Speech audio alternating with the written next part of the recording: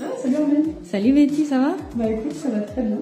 Est-ce que tu peux te présenter et nous dire de quoi est-ce qu'on va parler aujourd'hui? Eh ben, je suis Betty et je suis chargée de projet design et innovation et aujourd'hui on va parler de bioplastique.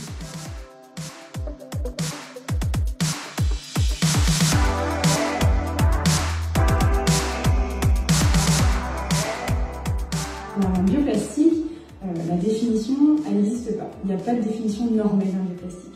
Ce qu'il faut surtout comprendre, c'est que le bio de bioplastique n'a rien à voir avec l'agriculture biologique. Un bioplastique n'est pas forcément issu de cette agriculture.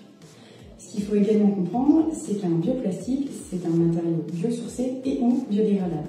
Biosourcé, ça veut dire que c'est un matériau qui est issu de la nature, comme le bois, la taille, euh, l'amidon de maïs, euh, et puis euh, la pomme de terre ou même de la betterave. De l'autre côté, on a biodégradable. Ça veut dire que le déchet se décompose naturellement et rapidement grâce à une action bactérienne et laisse derrière lui des traces de molécules qui vont être assimilées par les plantes. Il existe trois catégories de bioplastiques. D'abord, des bioplastiques qui sont biodégradables et biosourcés, comme par exemple l'amidon de maïs ou même l'amidon de pomme de terre.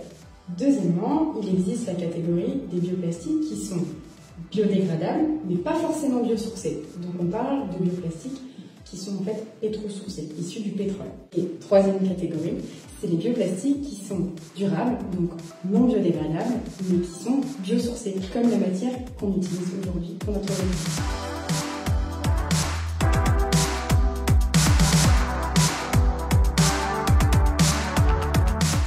Faisons zoom sur la matière utilisée sur notre c'est une matière euh, biosourcée, durable et renouvelable. C'est une matière en fait qui est issue de l'huile de ricin, qui est une plante qui pousse euh, dans des zones arides, donc qui n'a pas besoin de beaucoup d'eau pour pousser.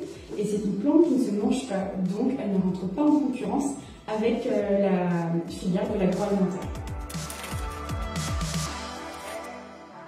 Et donc si vous avez d'autres questions, n'hésitez pas à les poser en commentaire. Et maintenant, je vous dis à bientôt.